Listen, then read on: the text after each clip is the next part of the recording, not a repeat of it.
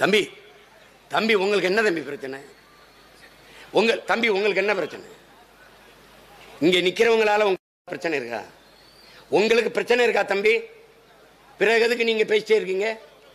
என்ன உங்க பிரச்சனைன்னு சொல்லுங்க. நிக்கிறவனால உங்களுக்கு என்ன பிரச்சனை? போக்குவரத்து இடையூறு இருக்கா? இடையூறு இருக்கா? பின்ன? உன் மகனுக்கும் மகளுக்கும் தான் நான் பேசிட்டு இருக்கிறேன். உங்க பிள்ளைக்கும் சேர்த்தா நான் பேசிட்டு இருக்கிறேன். தேவையில்லாம இருக்கிறேன் அவன் நின்னு கேட்டு போறான் அமைதியா இருக்கான்ல?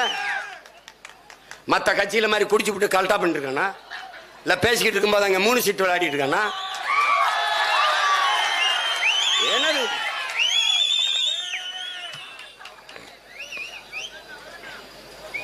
இன்னுமா நாங்க பேசுறதெல்லாம் எங்களுக்காக. எனக்கும் பின்னாடி வருகிற என் தலைமுறைக்காக நாங்க ச- கத்திக்கிட்டு இருக்கோம். எங்கள் முன்னவர்கள் கத்தினார்கள்.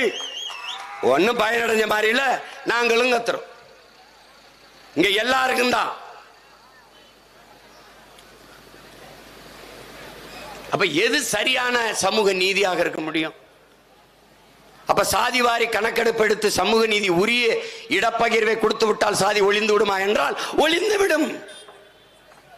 தம்பி நத்தைக்கு எதுக்கு கூடு தேவைப்படுகிறது? எதற்கு தேவைப்படுகிறது? கூடு இல்லை என்றால் எல்லாம் தொட்டு தொட்டு பிடிச்சு பிடிச்சு கொண்டு விடுவ அப்ப ஆபத்து வரும்போது படக்கென்று ஒரு கூட்டுக்குள் மறைகிற தேவை வருது. புழுக்கு அதுக்கு கொடுக்க முளைக்குது? அதை பிடிச்சி பிடிச்சி நசுக்கி கொண்டு வருவ. அப்ப அது தன்னை தற்காக்க ஒரு கொடுக்கு தேவைப்படுது. இது போலதான் இங்கே சாதி அமைப்புகள் சாதிய கூட்டங்கள் குழுக்கள் உருவாக காரணம் நாம சாதியா ஒன்னா இருந்தா தான் ஏதாவது கேட்டு பெற முடியுங்கிற நிலையை உருவாக்கி வைத்திருக்கிறீர்கள். அப்படி இல்லை. என் முன்னாடி உட்கார்ந்துருக்க எல்லாருக்கும் கல்வி கல்விக்கேற்ற வேலை வேலைக்கேற்ற சம்பளம் அதை கொண்டு வாழ்கிற பெருமை மிக்க வாழ்வு வந்துட்டால் எவனும் சாதியை பற்றி சிந்திக்கவோ அதுக்காக போராடவோ பெருமை பேசவோ நேரம் இருக்குது அவனுக்கு உண்டானது கிடைச்சிருச்சுன்னா நான் ஏன்? என் வயிறு நிறைஞ்சிருச்சுன்னா எதுக்கு ஊடாமட்டு சொத்தை படிக்க போறேன்? எதுக்கு படிக்க போறேன்? எனக்கு வேண்டியது கிடைச்சா அடுத்தவன்ட்ட எதுக்கு எடுக்க போறேன்? எதுக்கு தேட போறேன்? ஏன்? தானாக போட்டி பொறாமை எல்லாம் பொசுங்கி போகும். எல்லோருக்கும் சம வாய்ப்பு வர வேண்டும் என்றால் குடிவாரி கணக்கெடுத்து எண்ணி கொடுக்க வேண்டும் என்பதுதான். இல்லைன்னா என் தம்பி துறை சொன்ன மாதிரி ஒரு குத்து மதிப்பா கணக்கு. ஐயா எம்ஜிஆர் அவர்கள் இருக்கும்போது சாதி வாரி எங்கள் எவ்வளவு சாதி அப்படின்னு சாதிய தலைவர்களை கேட்கும்போது நாங்கள் ஒன்றரை கோடி நாங்கள் ஒரு கோடி நாங்கள் எண்பது லட்சம் நாங்கள் தொண்ணூறு லட்சம் கணக்கு பார்த்தா அன்றைக்கே இருபத்தஞ்சு கோடி வருது. சும்மா வாய் கணக்கு அல்லாத வாய்க்கணக்கு மனக்கணக்கு போடக்கூடாது. எண்ணணும் எண்ணி கொடுக்கணும். அதுதான் சரியான சமூக நீதி. அதற்காகத்தான் சாதி வாரி கணக்கெடுங்கள் அது வாரி பிரிச்சு கொடுங்கள் சமூக நீதியை நிலைநாட்டுங்கள் என்று சொல்றோம். வெற்று வார்த்தையாக சமூக நீதி சக சமத்துவம் சகோதரத்துவம் என்று பேசிக்கொண்டு திராவிட கட்சிகள் இருக்குமே ஒழிய ஒருபோதும் கணக்கு எடுக்காது காரணம் திராவிட கட்சிகள் எடுத்தால் அவர்கள் தமிழர் அல்லாதவர்கள் எவ்வளவு பேர் தமிழனுடைய இடத்தை அனுபவித்துக் கொண்டிருந்தார்கள் என்று தெரிய வந்துவிடும். அதான் அங்க இருக்கிற பிரச்சனை. அதனால எடுக்க மாட்டார்கள். இன்னைக்கு நேத்தா நாம சிறு பிள்ளையா இருக்கிற காலத்தில் சட்டநாதன் பரிந்துரைத்த அந்த காலத்தில் இருந்து இவர்கள் எடுக்கல. எந்த திராவிட கட்சி? ஐயா கருணாநிதி எடுத்தாரா? ஐயா எம்ஜிஆர் எடுத்தாரா? அம்மையார் ஜெயலலிதா எடுத்தாரா? எடுக்க மாட்டார்கள். இப்ப யார் அதிகாரத்திற்கு வந்தால் இது எடுக்கப்படும்? உரிய எண்ணிக்கையில் உரிமை கொடுக்கப்படும்? பிரபாகரன் பிள்ளைகள் என்னைக்கின்ற இந்த மண்ணில் தமிழ் தேசிய குடியரசை கட்டி எழுப்புகிறார்களோ அன்னைக்கு இது சாத்தியப்படும். என்னது? இது ஒரு பெரிய வேலையா? எண்ணி கொடுக்கறது எண்ணி கொடுக்கறது அதெல்லாம் எப்படிங்க? இது மத்திய அரசு எடுக்கணும் அப்படின்னு. அறிவார்ந்த தமிழ் சமூக தம்பிதங்களிடத்திலே என் அன்பு பெற்றோரிடத்திலே ஒரு கேள்வியை உங்கள் மகன் வைக்கிறேன். மூணு சதவீத இடஒதுக்கீடு அருந்ததிய மக்களுக்கு கொடுத்தது யார்? மாநில அரசு. மூணு புள்ளி அஞ்சு சதவீத விழுக்காடு இடஒதுக்கீடு இஸ்லாமிய பெருமக்களுக்கு கொடுத்தது யார்? மாநில அரசு. பத்து புள்ளி அஞ்சு விழுக்காடு படையாட்சிக்கு கொடுத்தது யார்? ஐயா எடப்பாடி பழனிசாமி மாநில அரசு. இந்த விழுக்காட்டு அடிப்படையில் இடஒதுக்கீடை கொடுக்கிற உரிமை அதற்கான அதிகாரம் மாநில அரசிற்கு இருக்கிற போது சாதிவாரி கணக்கெடுப்பு எடுத்து கொடுக்கிற அதிகாரம் மாநில அரசிற்கு இருக்கா இல்லையா? இதான் கேள்வி. இல்லை என்றால் அந்த உரிமையை போராடி பெறாமல் என்ன புடுங்கிக் கொண்டிருந்தாய் என்ற கேள்விக்கு என்ன பதில்? நீ மாநில உரிமை பேசினாய் மத்திய அரசு கணக்கெடுக்க வேண்டும் என்கிறாய். மாநில தன்னாட்சி மத்தியில் கூட்டாட்சி இந்த முழக்கத்தை வைத்தது யார்? உறவுக்கு கை கொடுப்போம் உரிமைக்கு குரல் கொடுப்போம். இதை பேசியவர்கள் யார்? யார்? ஏன் இந்த உரிமைக்கு பேசல? பாரதிய ஜனதா இடஒதுக்கீட்டுக்கு எதிரான கோட்பாட்டை கொண்டது என்று தெரிந்தும். நீ நீ எடு நீ எடு. இஸ்லாமிய சிறைக்கதிகள் விடுதலைக்கு எதிரானது ஆர்எஸ்எஸ் பிஜேபி அதன் அதிகாரம் என்று தெரிந்தும் ஆளுநர் கையெழுத்திட வேண்டும். அவர் போட மாட்டார். தெரிந்தும் முன்னகர்த்தி அவர் மேல சாட்டி சாட்டி தப்பிப்பதை அறிவார்ந்த தமிழ் சமூக தம்பி தங்குகள் எப்படி ஏற்கிறீர்கள்? எப்படி ஏற்கிறீர்கள்? நிதிஷ்குமாரால முடியும் உங்களால் முடியாதா? அது வழக்காகி தடை வட்டப்பட்டிருக்கு. ஏன்? அவன் ஒரு உச்ச வரம்பு வச்சிருக்கான் ஒரு மார்ஜின் ஒரு எல்லை ஐம்பது விழுக்காடு அப்படின்னு. ஆனால் அவர் அறுபத்தி மூணு விழுக்காடு போயிட்டார். அறுபத்தி மூணு விழுக்காடு கொடுத்துட்டார். அதனால அது செல்லாதுங்குது. ஆனால் அவர் அதை நான் ஏற்க தயாரா இல்லைங்கிறது. உச்சநீதிமன்றம் சொன்னது எல்லாத்தையும் நீங்க கேட்க போறியா? இல்ல மற்ற மாநிலங்கள்லாம் கேட்டிருக்கா? தம்பியே தங்கைகளே காவிரியில் தமிழர்களுக்கு உரிய நீரை கொடு உச்சநீதிமன்றம் கேட்டதா கர்நாடகா? முல்லை பெரியாற்று அணை பாதுகாப்பாக இருக்கிறது. தமிழர்களுக்கு உரிய நீரை பங்கிட்டு கொடுங்கள். உச்சநீதிமன்றம் கேட்டதா கேரளா? நீட்டு தேர்வை எழுதலாம். உச்சநீதிமன்றம் கேட்க போகிறதா தமிழ்நாடு? கேட்கறதுக்கு பதில் யார்கிட்ட இருக்கு? இந்த கேள்விகள் உங்களுக்குள் எழுதால் நீங்கள் என் உடன் பிறந்தவர்கள். இல்லை என்றால் நான் ஒன்னும் சொல்ல முடியாது. என்னைக்கு இந்த கேள்வி உனக்குள் எழுதோ அன்னைக்கு என்னிடத்தில் வா. உனக்காக உன் அண்ணன் உன் உடன் பிறந்த உன் தம்பி உன் பிள்ளை காத்திருப்பேன். நீ என்னைக்கு கோவப்பட்டிருக்க? ஏன் இந்த கேள்விகள் உனக்குள்ள வரல? இப்ப விட்டுற போறியா? தமிழ்நாடு அப்படி இல்ல. அறுபத்தி ஒன்பது விழுக்காடு மண்டல் கமிஷன் மண்டல் என்கிற ஒருவரின் தலைமையிலே ஒரு குழு அமைக்கப்பட்டு இந்த உரிமை பெறப்பட்டிருக்கின்றால் தமிழ் மண்ணில் பிறந்த பெ- பெருமகன் நம்முடைய ஐயா ஆனமுத்து என்ற ஒற்றை மகனின் உழைப்பு என்பதை அறிவார்ந்த தமிழ் சமூக தம்பிதங்கள் புரிந்து கொள்ளணும். எல்லாம் சொந்தம் கொண்டாடுவான் ஆனமுத்துக்காக பேச இன்று யாரும் இல்லாமல் இருக்கலாம். பேசியவர் பாராட்டியவர் எங்கள் ஐயா மருத்துவர் ராமதாஸ் அவர்கள். அவர் பாராட்டு கூட்டம் போது முன் இருக்கையில இருந்து கைதட்டியவன் இந்த மகன் சீமான் என்பதை நீங்கள் கவனத்தில் வைத்துக் கொள்ள வேண்டும். பட்டாடை போர்த்தி மாலையை அணிவித்து அந்த பெருந்தகையை பாராட்டிய மகன் எங்கள் ஐயா ராமதாஸ் அவர்கள். அவருக்கு தெரியும். இப்ப ஒரு பத்து புள்ளி அஞ்சு தந்தாலே தான் சொல்ல என்ன? எண்ணி கொடு. நீ ஏமாத்திக்கிட்டு இருக்க பூச்சாண்டி கட்டிக்கிட்டு இருக்க? நீ பத்து புள்ளி அஞ்சு இங்க பாரு. இதெல்லாம் எடுத்து வச்சிருக்க என்ன அண்ணன் பார்த்து படிக்குதுன்னு. சும்மா வாய் கணக்கா சொல்றேன்னு நினைச்சிடக்கூடாதுல்ல? எவன் எவ்வளவு அனுபவிக்கிறான்ட்டு. அதில் வாரு ஒரு ஆட்சியில் அந்த பாரு வந்திருக்குவாரு. பத்து புள்ளி அஞ்சு படையாட்சிகளுக்கு எங்கள் ஐயா வந்து ஒரு தடவை சொல்லிட்டாருங்க கோவத்தில். உனக்கிட்ட வந்து உன்கிட்ட நான் வந்து இதெல்லாம் செஞ்சு கொடுன்னு கேட்கணுமா பத்து புள்ளி அஞ்சு எனக்கு கேவலம் வெக்கமாக இருக்குதுன்னு பத்தாயிரம் பேர் இல்லாத ஒரு சாதி எங்களை இத்தனை வருஷமாக ஆண்டுகிட்டு இருக்கீங்கன்னு வச்சிட்டாரு. அதுக்கு எவனோ ஒருத்தனை விட்டு தகவல் அறி உரிமை சட்டையில் நாங்கள் எடுத்து சட்டத்தில் எடுத்து நாங்கள் வந்து சொல்கிறோம் பத்து புள்ளி அஞ்சை விட அதிகமாக படையாட்சியில் அனுபவித்துக் கொண்டிருக்கிறார்கள். நாங்கள் ஆர்டிஐயில் கேட்டோம். கேட்டு நாங்கள் வந்து சொல்கிறோம் உங்களை அவர் ஏமாத்துறாரு. பதினாலு விழுக்காட்டுக்கு மேலே படையாட்சியில் அனுபவித்துக் கொண்டிருக்கிறார்கள். தகவல் அறிவுரிமை சட்டம் சொல்லுதுன்னு. இந்த பாருங்க. இந்த பாருங்க இருக்கு பாருங்க. என்னுடைய தம்பி மகிழன் தன் வலையொலியில் போட்டிருக்கான். எடுத்து பாருங்க ஆய் வலையொலியில் இந்த பாருங்க இதில். ரெண்டாயிரத்தி எட்டில் திருச்சியை சேர்ந்த ஓய்வு பெற்ற துணை கலெக்டர் துணை மாவட்ட ஆட்சியர் முத்தையன் டிஎன்பிசி இடம். அந்த வன்னியர்களுக்கு எத்தனை பணியிடங்கள் ஒதுக்கப்பட்டன என்று ஆர்டிஐ மூலம் கேட்டதற்கு அது தகவலை தர மறுத்துவிட்டது இப்போ இப்ப எங்கள் எங்களை சேர்ந்த ஒருவர் என் தம்பி அறிவன் இந்த உண்மையிலே வன்னியர்களுக்கு பத்து புள்ளி அஞ்சுக்கு மேல பயன்பாட்டில் இருக்கா இடஒதுக்கீடு இருக்கா பதினாலு விழுக்காடு இருக்கா அப்படிங்கிற தகவல் அறிவுரிமை சட்டையில் போட்டு கேட்டதுக்கு இந்த தகவலை நீங்கள் யாருக்கும் கொடுத்தீங்க அப்படி யாருமே கேட்கல நாங்கள் எந்த தகவலையும் நாங்கள் யாருக்கு அனுப்பலைன்னு தகவல் அறிவு உரிமை சட்டம் சொல்லியிருக்கு. அப்படின்னா அது எந்த தகவல் அறியத்திலிருந்து நீ எடுத்து நீ ஒரு அதிகாரத்தில் இருக்கிற நீ எப்படி பொய்யா பரப்புற? ஒரு சமூகத்தை தமிழ் சமூகத்தின் பெரும்பான்மை தமிழ் சமூகத்தை எப்படி ஏமாத்துற நீ?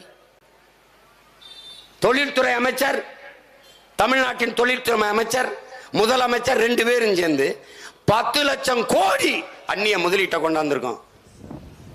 அதை வச்சு முப்பத்தோரு லட்சம் பேருக்கு வேலை வாய்ப்பை கொடுத்துருக்கோம்னு நீங்கள் ரெண்டு பேரும் பேசிட்டே இருக்கிறீங்க. இப்போ நான் இதே தகவல் அறிவு உரிமை சட்டத்துக்கு கேட்டிருக்கேன். உண்மையிலே பத்து லட்சம் கோடி உள்ளே வந்திருக்கா? அதில் முப்பத்தோரு லட்சம் பேருக்கு வேலை வாய்ப்பு கொடுத்துருக்கலான்னு இல்லைன்னு சொல்லிடுச்சு அடுத்த நாள் உங்கள் மேலே வழக்கு போடுவேன்.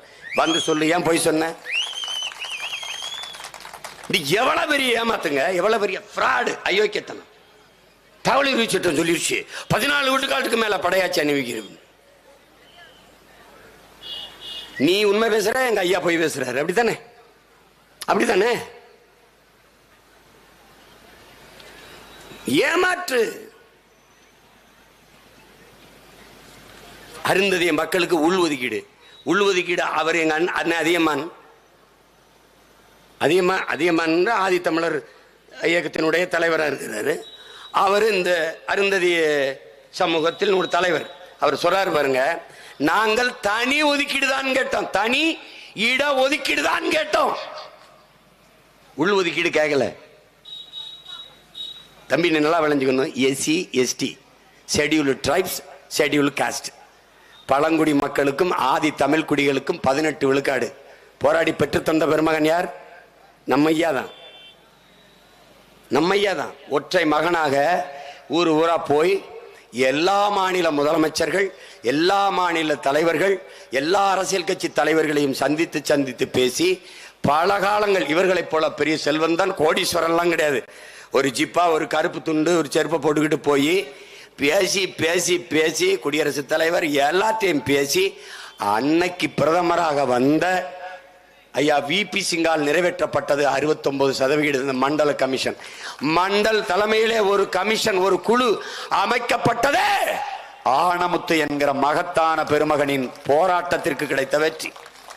அதில் பெற்ற உரிமை பதினெட்டு விழுக்காடு தேவேந்திரர் பறையர் இவர்கள் எல்லாருக்கும் பழங்குடி மக்களான குறவர் ஒட்டர் எல்லாருக்கும் போயர் எல்லாருக்கும் சேர்த்து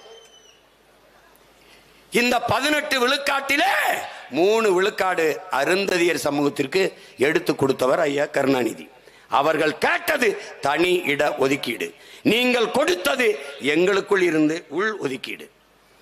தம்பி தங்கைகளே நானே நெளிஞ்ச தட்டில் அஞ்சு ஆறு பருக்கைகளை போட்டு சாப்பிட்டு கொண்டிருக்கிறேன்.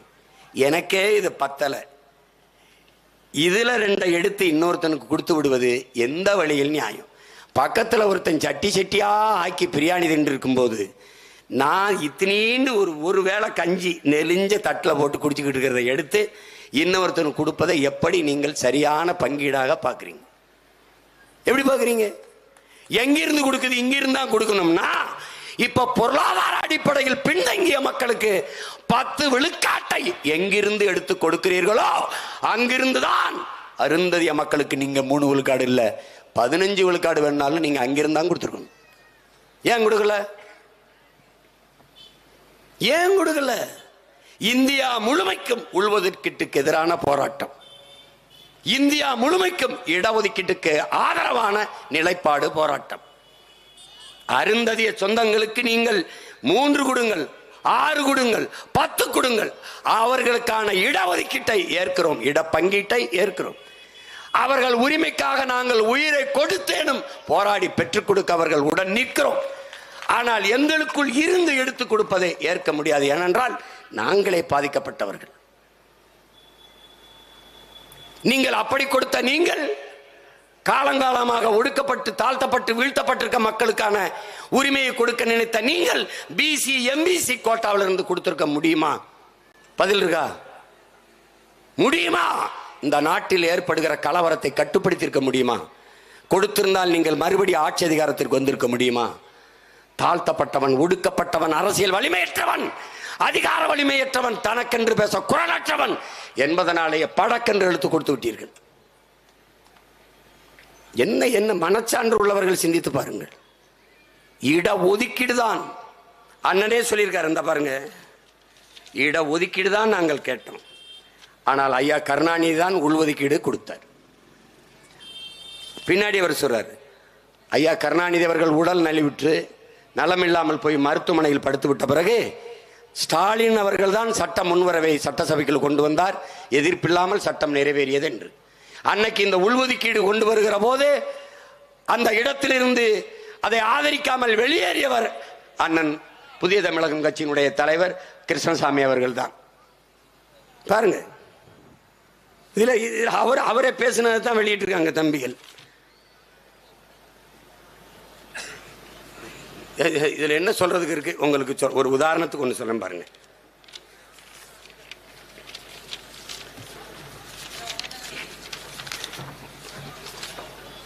அது ஒன்று தான் இப்போ குறையா இருக்கு. வணக்கங்கிறார். இங்கே பாருங்க.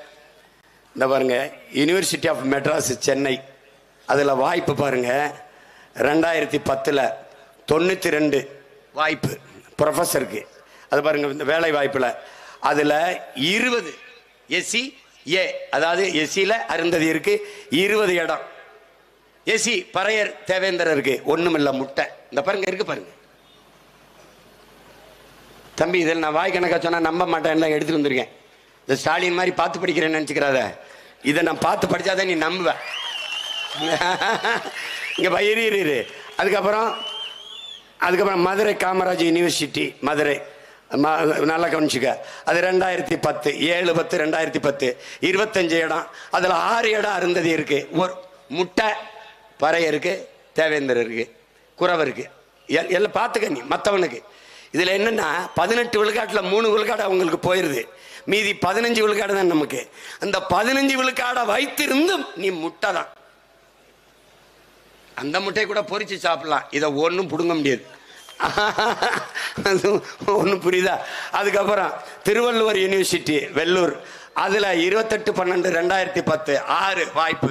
அதில் மூணு வந்து அருந்ததியர் சமூகம். மூணு இல்லை ரெண்டு அருந்ததியர். மற்றவர்கள் ஒன்றும் இல்லை. யார்? ஆதி தமிழ் குடிகள் வரையரும் ஒன்றும் இல்லை தேவேந்திரருக்கும் ஒன்றும் இல்லை.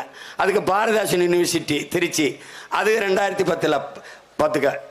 ப- பன்னிரெண்டு இடம் பாரதாஸ் யூனிவர்சிட்டியில் அதில் மூணு அருந்ததியர் நமக்கு மற்றவர்களுக்கு பறையர் தேவேந்திரர் முட்டை. அதே மாதிரி ம- மதுரை காமராஜ் யூனிவர்சிட்டி மதுரை ரெண்டாயிரத்தி பத்து பதினஞ்சு இடம் அதில் ரெண்டு அருந்ததியர். இப்படி எல்லாமே மூணு விழுக்காடை வைத்திருக்கிற அவர்கள் பெற்ற இடத்தை இந்த ஆதி தமிழ் குடிகள் பறையர் தேவேந்திர பெறலை. அப்போ மூணு விழுக்காடு வச்சிருக்கிற அவர்கள் பதினேழு விழுக்காடு வாய்ப்பை பெறுகிறார்கள். பதினேழு இடத்தை பெறுகிறார்கள். மீதி பதினைந்து இடத்தை வைத்திருக்கிற இவர்கள் பதினாலு இடத்தை தான் பெறுகிறார்கள். இதுதான் இதுதான் ஆபத்து. அப்ப என்ன அவர்களுக்கும் வாய்ப்பை கொடுங்கள். இப்ப அருந்ததியருக்கு மூணு விழுக்காடு கொடுத்துருக்கீங்க. என்னங்க? ஒருவேளை ஆறு வந்தா ஆறு கொடுங்க. ஆனால் எனக்கிட்ட இருந்து எடுத்து கொடுக்காதீங்க. அவன் வச்சிருக்கான்ல நூறு லட்டுல எண்பது லட்டு வச்சிருக்கான்ல அவன்கிட்ட எடுத்து கொடுங்க.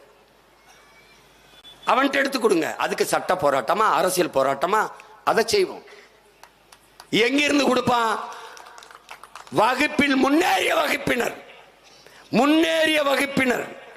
பொருளாதாரத்தில் பின்தங்கியவர்கள் என்று பத்து விழுக்காட்டு இடஒதுக்கீட்டை எங்கிருந்து கொண்டு வந்து கொடுத்தார்களோ அங்கிருந்து தான் அதை எடுத்து கொடுக்கணும் வாங்கி கொடுக்கணும்.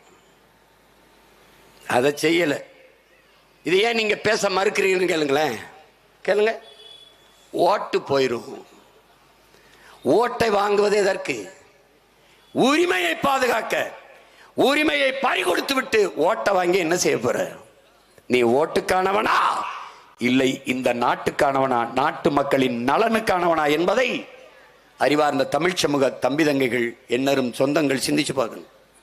வெறும் ஓட்ட குறி வச்சு நிற்கிறது அண்ணா அதிகமானே சொல்றாரு.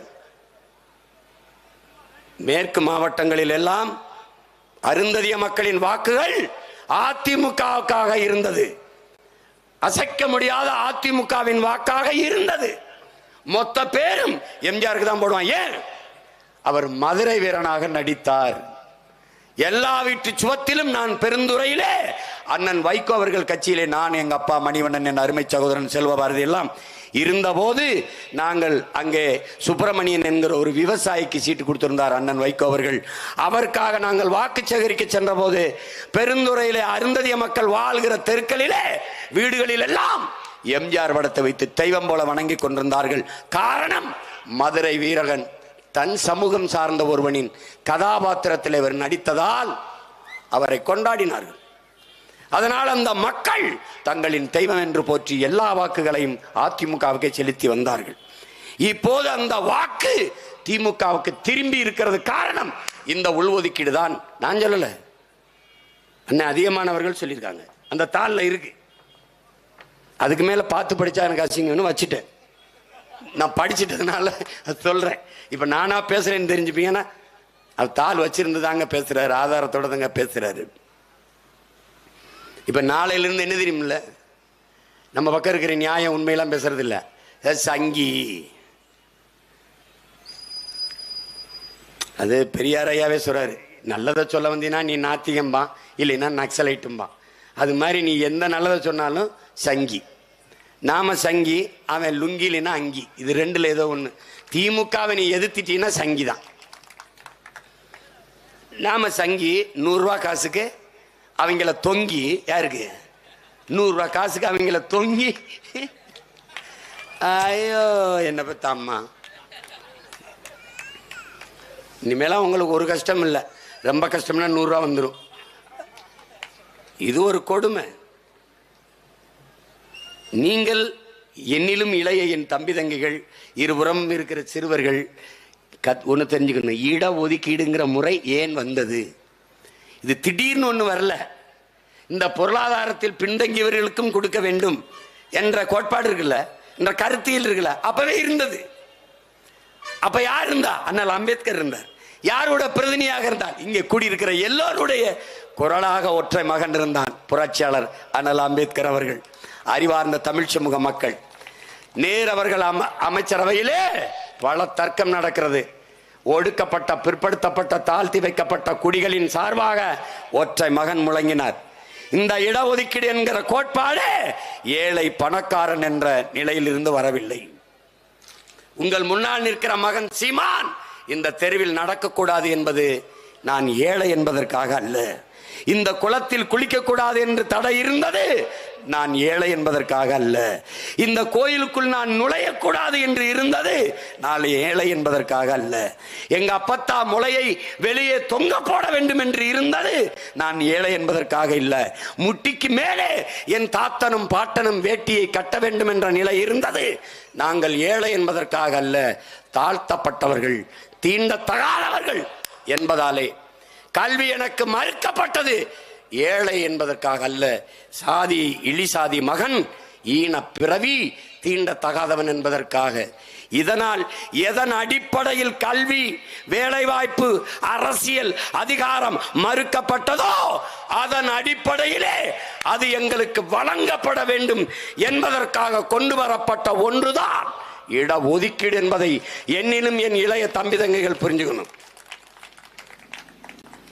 நீ பஞ்சாயத்துனா என்ன என் தம்பி தங்கைகளே?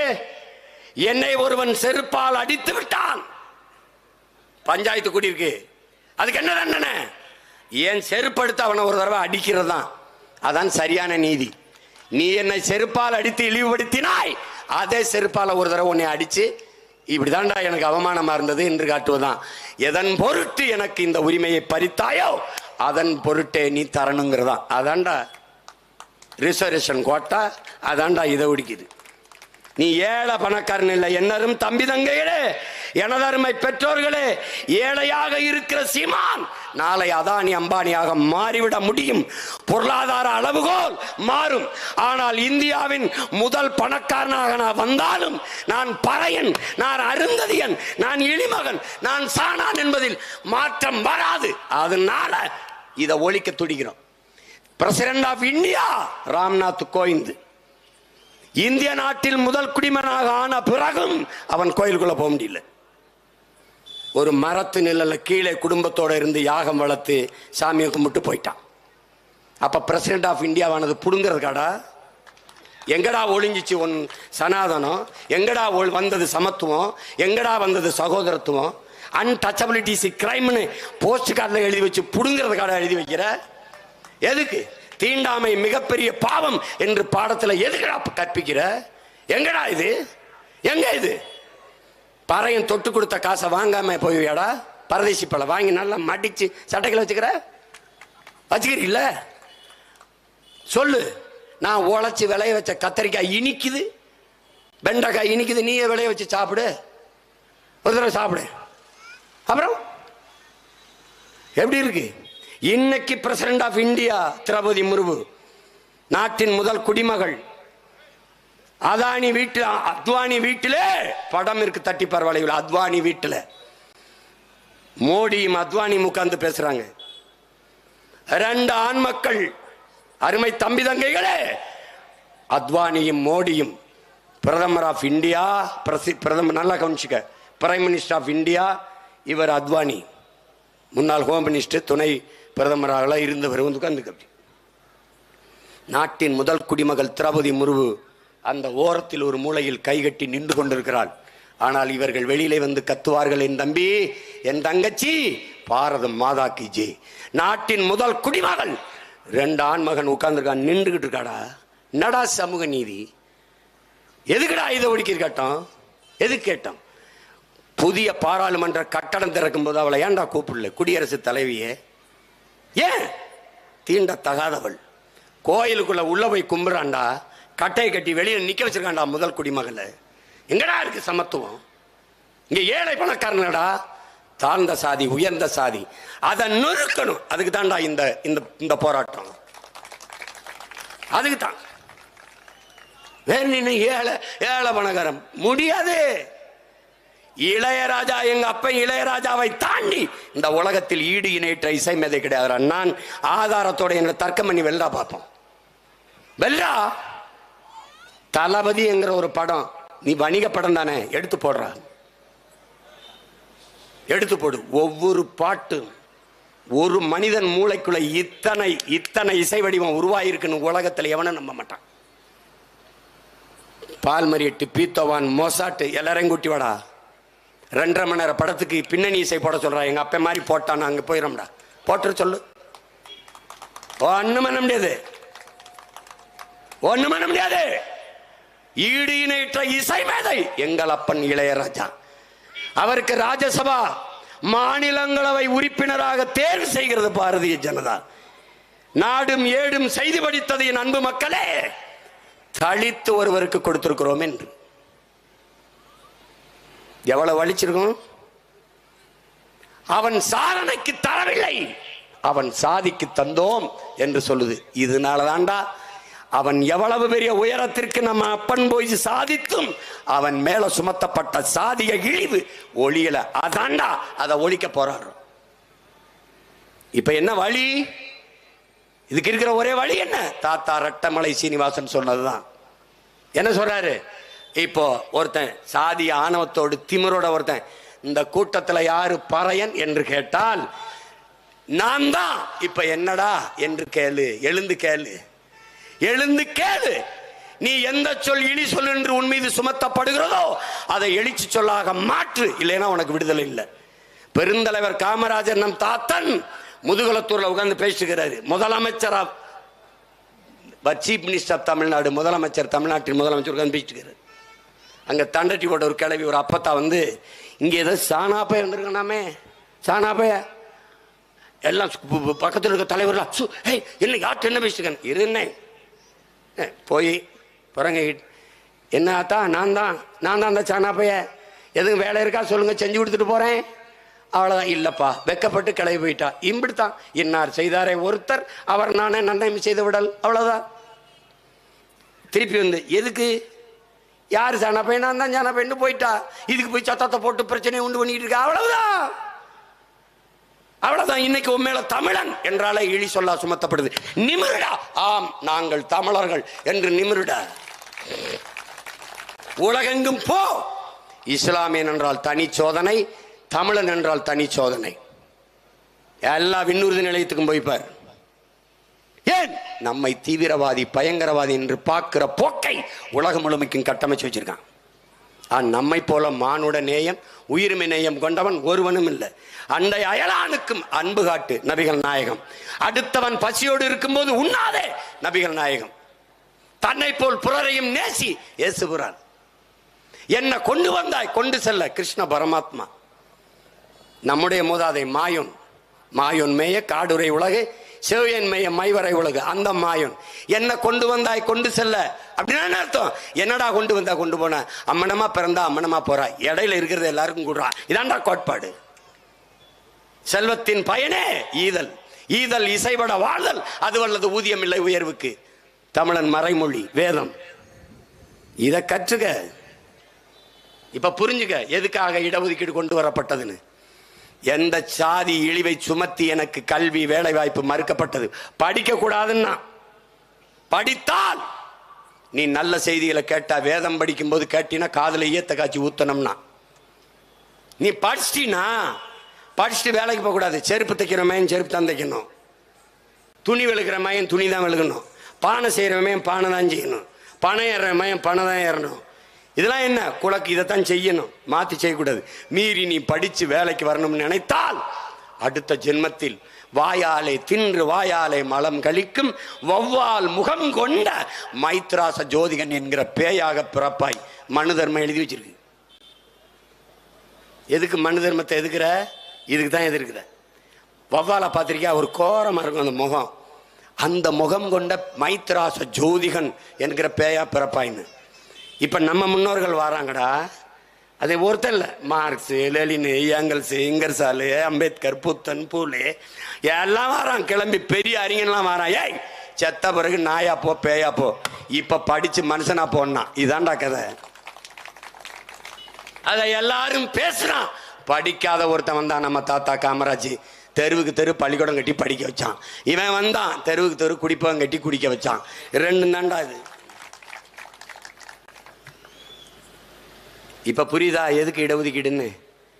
பொருளாதார அளவுகோல் மாறிவிடும். ஏழை பணக்காரன் ஆகிவிடலாம்.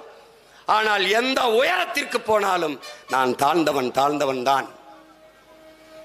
இங்க பாரு குடிச்சிட்டு குடிச்சிட்டு வீதியில நின்று ஒருத்தன் கீழே விழுந்து வேட்டி சட்டெல்லாம் உறிஞ்சி விழுந்து பிறண்டாலும் அவன் உயர் சாதி உயர் சாதியா இருக்கான். நான் குடிக்க மாட்டேன். கட்டிய மனைவி தவிர வேற ஒரு பெண்ணை நினைக்க மாட்டேன். ஊழல் லஞ்சம் பெற மாட்டேன். ஒழுக்கமா இருப்பேன். இதை தாண்டா அண்ணல் அம்பேத்கர் சொல்றாரு. மனிதனின் செயல்பாடு பண்புகளில் இருந்து உயர்ந்தவன் தாழ்ந்தவன் பிரி. யார் சிறந்தவன் சிறப்பில்லாதவன் என்று பிரிங்கிறாரு. நான் கல்வி கற்றிருக்கிறேன் ஒழுக்கமானவன் உண்மை பேசுவேன் நேர்மையாக இருப்பேன் பொய் பேச மாட்டேன் களவு செய்ய மாட்டேன் பிறர்மனை நோக்க மாட்டேன் ஊழல் லஞ்சம் செய்ய மாட்டேன் மது இருந்த மாட்டேன் மானுட குலம் ஒழுக்க விதிகளுக்கு வைத்திருக்கிறபடி நான் வாழ்றேன். அப்படின்னா இவன் யார்? இவன் தான்டா உயர்குடி பிறந்தோன் நற்குடி மகன். இவன் தான் உயர்ந்தவன். இது எல்லாம் செய்வேன். பத்து பொண்டாட்டி கட்டுவேன் அஞ்சு பொண்டாட்டி வைப்பேன் வப்பாட்டி மயனுக்கெல்லாம் பதவி கொடுப்பேன் கோடி கோடியா கொள்ளையடிப்பேன் ஊரை சுரண்டி கொழுப்பேன் இவன் தாண்டா அயோக்கிய பை இழிசாதி ஈன மகன். நீ இவனை கொண்டாடிட்டு அவனை தாழ்ந்தவங்கிற? எப்படி இருக்கு? சாதியை கடந்து நீ சாதி பார்க்குற நாங்கள் அதை விட்டுட்டு எதையாவது சாதிக்க பார்க்குறோம். இது ரெண்டு தான் இருக்கிற வேறுபாடு. நீ மதம்ங்கிற அதை கடந்து நாங்கள் மனிதம்தான் புனிதம்ங்கிறோம். இதுதான் கோட்பாடு. அதனால தான் அண்ணன் என்ன சொன்னேன்? சாதி பார்த்து பழக மாட்டோம். சாதி பார்ப்பவனோடு பழகவே மாட்டோம் என்று நான் சொன்னதற்கு காரணம் அதுதான். இப்பவும் சொல்கிறேன் மறுபடியும் தேர்தலில் நிற்பேன். இந்த செந்துறையில் வாழ்கிற மக்கள் அரியலூர் மாவட்ட மக்கள் ஜெயங்கொண்டத்தில் அல்லது குன்னத்தில் இல்லை இந்த பெரம்பலூரில் நிற்கிற மக் இருக்கிற மக்கள் மறுபடியும் இந்த பிள்ளைகளுக்கு சாதி பார்த்து போற்றாதீங்க. நாங்கள் தமிழர்கள். தமிழ்தாயின் பிள்ளைகள். உங்கள் மக்கள் உங்கள் பிள்ளைகள் உங்களுக்காக வந்திருக்கிறோம் என்ற உணர்வு அந்த உறவு அந்த சிந்தனை இருந்தால் எங்களுக்கு வாக்கு தாருங்கள். அப்ப சாதியே இல்லையா சீமான்? இருக்கிறது. எனக்கும் சாதி இருக்கு உங்களுக்கும் சாதி இருக்கு. என்ன சாதி? என் செய்ய நினைத்தாய் விதியே விதியே. என் செய்ய நினைத்தாய் என் தமிழ் சாதியை என்று பெரும்பாவளன் பாட்டன் பாரதி பாடிய தமிழ் சாதி நம் சாதி என்று உறக்கச் சொல். எங்கள் சாதி தமிழ் சாதி. நாங்கள் ஒரு தாய் பிள்ளைகள் தமிழ் தாயின் பிள்ளைகள். என் மொழி ஒன்று அவன் மொழி ஒன்று. என் உணர்வு என் மொழி என் கலை என் இலக்கியம் என் பண்பாடு என் இறை எல்லாம் ஒன்று அவனும் நானும் ஒன்று. யாரு மேலே கீறினாலும் ரத்தம் ஒன்றுதான். ஆக மொத்தம் நீயும் நானும் பத்து மாதம்தான். இதுதான் நாம் ஏற்றுக்கொண்டு இயங்க வேண்டிய தத்துவம். சாதி வாரி கணக்கெடுப்பு எடுத்து சமூக நீதியை நிலைநாட்டினா நிலைநாட்ட மாட்டார்கள். அதற்காக வேணும் அன்னை தமிழ் சமூகம் அரியணை ஏற வேண்டும். தமிழ் வாழ வேண்டும் என்றால் தமிழன் ஆள வேண்டும் என்கிற புரிதல் என்னிலும் இளைய என் தம்பி தங்கைகளுக்கு இருக்க வேண்டும். அதனால்தான் இந்த கோட்பாட்டை வலியுறுத்துகிறோம். சாதிவாரி கணக்கெடுப்பு எடுங்கள்.